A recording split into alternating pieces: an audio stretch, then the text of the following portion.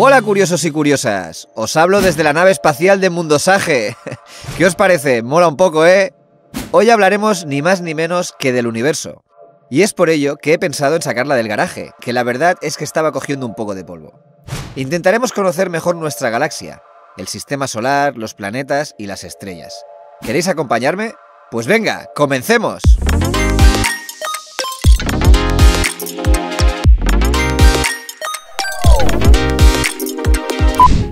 Como ya sabréis, la Tierra es un planeta y todo a su alrededor es el universo, ese espacio negro y vacío donde están las estrellas.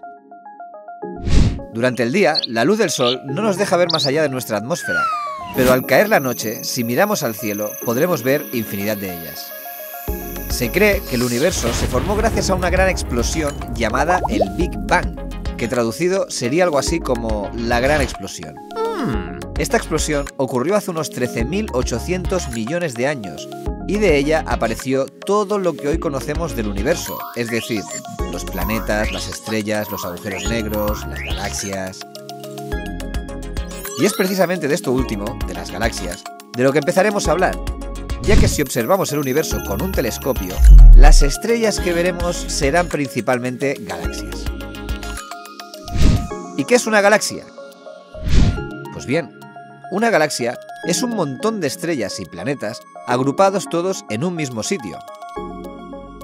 Principalmente estrellas y planetas, pero hay muchas más cosas como asteroides, satélites, materia cósmica... Las galaxias más pequeñas pueden tener unos 3.000 millones de estrellas, pero las hay que son realmente enormes y que pueden llegar a tener más de un billón de estrellas. Sí, sí, billón con B, es decir, un millón de millones. Las galaxias están muy muy lejos. Para que os hagáis una idea, la más cercana a nosotros se encuentra a 28.000 años luz. Es decir, que si pudiéramos viajar a la velocidad que viaja la luz, lo cual sería muchísima, muchísima, pero que muchísima velocidad, deberíamos viajar durante 28.000 años para llegar hasta ella. De locos. Así que, como mi nave no va mucho más rápido que un patinete eléctrico trucado, nos centraremos en la galaxia donde está la Tierra, es decir, nuestra galaxia. Y nos ahorramos así un viaje interminable. Nuestra galaxia es la Vía Láctea, y se calcula que tiene alrededor de 200.000 millones de estrellas, entre las cuales se encuentra nuestro tan querido Sol, que es una estrella alrededor de la cual giramos nosotros y el resto de planetas del Sistema Solar. Más adelante explicaremos en detalle cuáles son. La Vía Láctea es enorme y nosotros y todo nuestro sistema solar solo somos un puntito diminuto en uno de sus lados. Debido precisamente a que estamos en mitad de la galaxia, la gran mayoría de estrellas que vemos en el cielo forman parte de nuestra misma galaxia, es decir, la Vía Láctea. Si observáis el cielo por la noche, sobre todo en los meses de verano o primavera, es posible que veáis una hilera de estrellas como esta.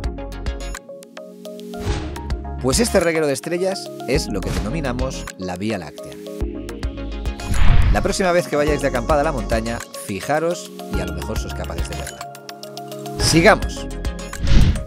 Como hemos dicho anteriormente, la Tierra está dentro del Sistema Solar y el Sistema Solar, a su vez, está dentro de la Vía Láctea.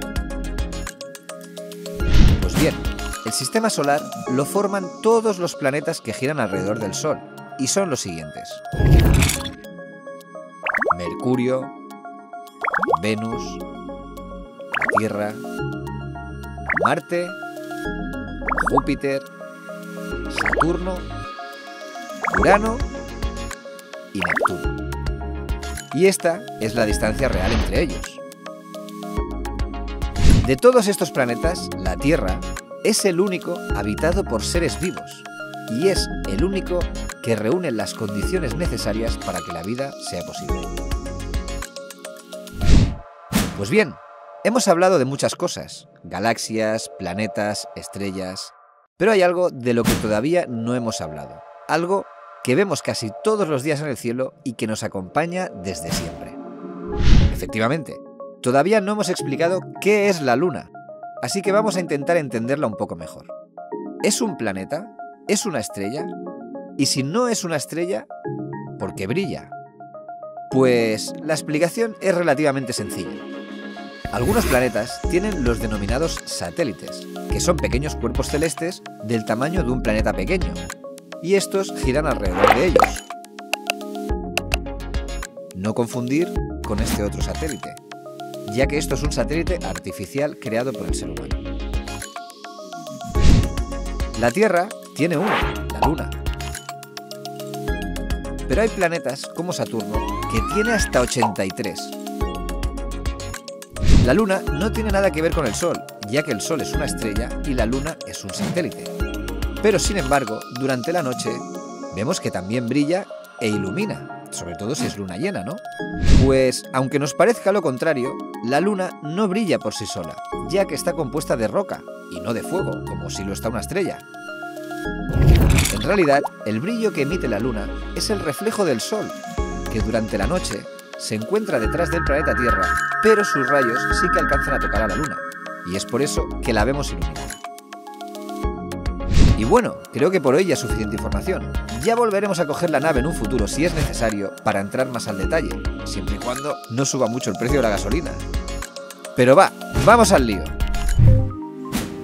¿Cuántos planetas tiene el sistema solar? ¿15, 8 o 5?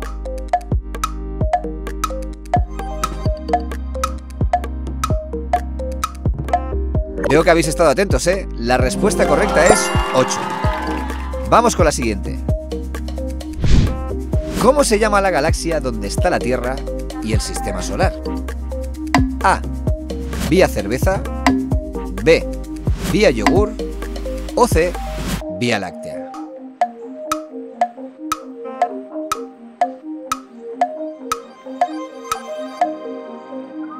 Muy bien, la respuesta correcta es la C, Vía Láctea. Y hasta aquí el vídeo de hoy. Espero que os haya parecido interesante y hayáis podido entender un poco mejor algunas partes del universo.